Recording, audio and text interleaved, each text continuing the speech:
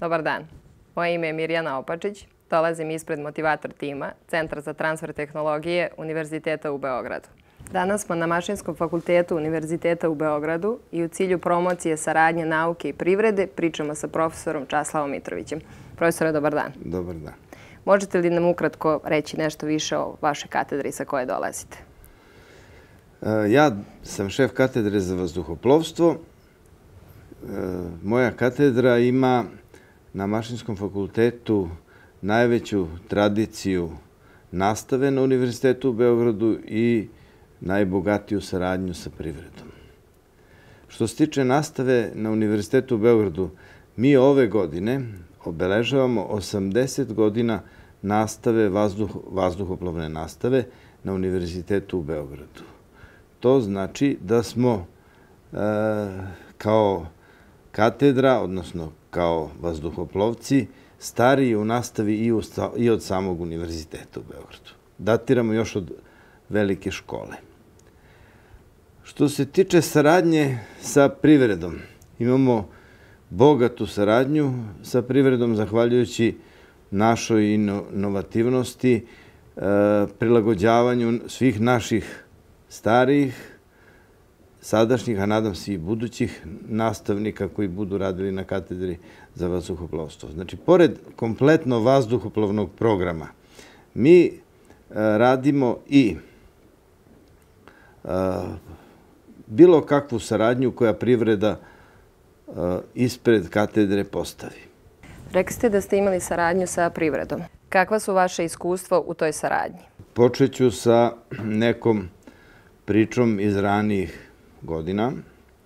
E, najpre što se tiče vazduhoplovne saradnje, e, katedra za vazduhoplovstvo je projektovala i u saradnji sa vazduhoplovnim zavodom Moma Stanojlović realizovala lopatice helikoptera Gazela, odnosno SR 345 i realizovala je znači, kompletno izradu i balansiranje tih lopatica. To su lopatice francuske proizvodnje gde smo mi ovde na katedri svojom pameću, odnosno svojim angažovanjem, reprojektovali lopatice koje su se pokazale bolje od francuskih lopatica. Te lopatice je proizvodio vazduhoplovni zavod Moma Stonolović. Mi ovde na fakultetu e, posjedujemo e, najveći školski aerotunel u Evropi, a treći u svetu. Školski, kažem, univerzitetski aerotunel. Aerotunel je podzvučni, zatvorenog prantlovog tipa, maksimalne brzine do 116 metara u sekundi, otprilike oko 420 km na sat, koji nam omogućava da sve ono što radimo u vazduhoplovstvu možemo da E, metodom sličnosti dovedemo na e, najveći mogući nivo da bi se izvršilo projektovanje aviona, vetrogeneratora, vetroturbina i sličnih tih nekih uređaja. Što se tiče saradnje sa privredom van vazduhoplovstva, e, mi sarađujemo sa svim, recimo, građevinskim kompanijama koje žele da izvrše projektovanje i ispitivanje visokih zgrada, visokih objekata kao što, je, kao što su dimnjaci, e, objekat kao što je televizijski toranj navali, e, reprojektovanje e, stambenih zgrada između dve stambene zgrade. Sada, je, sada postoji u zakonu da sve zgrade višlje od četiri sprata moraju da budu ispitivane na vetar. Šta radimo mi u tim slučajima? Mi izvršimo projektovanje tih zgrada, štampanje na 3D štampaču ili uh, izradom od specijalnih kompozitnih materijala, maketa tih objekata i onda ih postavljamo u aerotunel simuliramo brzine, simuliramo kompletnu ružu vetrova i vršimo ispitivanje takvih objekata. Lepo. Ono što sam htjela da vas pitam, kada pričamo o saradnji između nauke i privrede, ta saradnja može da ide u dva pravca. Jedno je da jednostavno subjekat iz privrede bude nalogodavac koji traži rešenje određene problematike. A sa druge strane, moje pitanje glasi, i to ste nam vi sada objasnili kako, kako sarađujete, da li je došlo da iniciranje novih proizvoda, projekata inovativnog karaktera krene sa fakulteta, odnosno da dođe do plasmana rezultata istraživanja? Mi smo, pričamo o svojoj katedri, na katedri kao mala deca.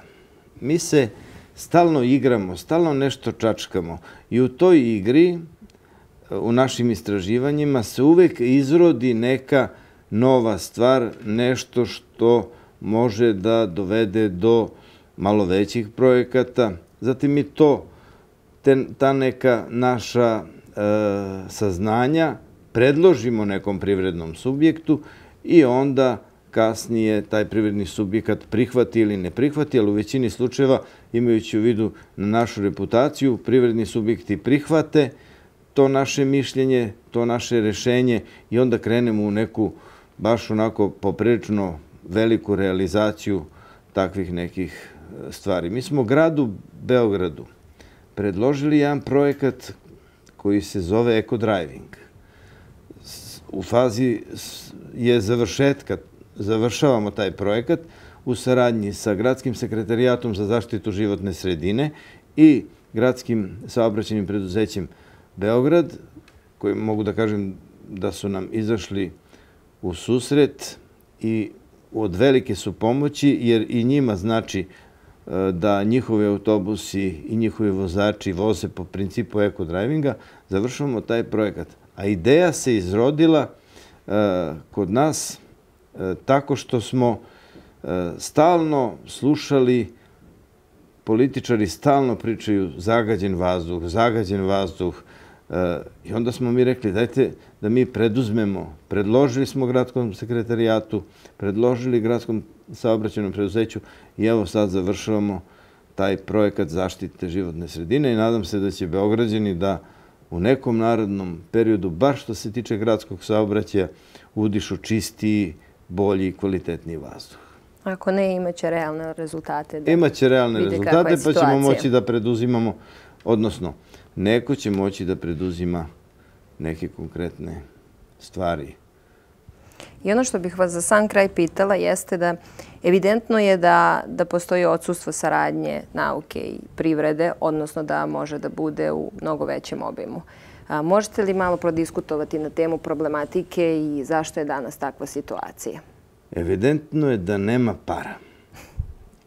To je jedina stvar koja je evidentna. Ne postoji odsustvo volje i želje da sarađuje nauka i privreda. To ne postoji. Ja u to sam siguran i mogu da tvrdim da bi svi, čak svi subjekti, privredni subjekti i svi ovde na Mašinskom fakultetu, na katedri za vazduhoplovstvo, na celom fakultetu, na celom univerzitetu, želeli da sarađuju sa privredom. Međutim, kako postoje određeni troškovi bilo kakvog istraživanja, privredni subjekti nemaju dovoljno para čak ni da finansiraju istraživanje, a kamoli da rezultate tog istraživanja implementiraju i dalje razvoj proizvoda i ulazak na tržište. Mi smo svesni toga i mi radimo uh, radimo sve ono što možemo da uradimo bez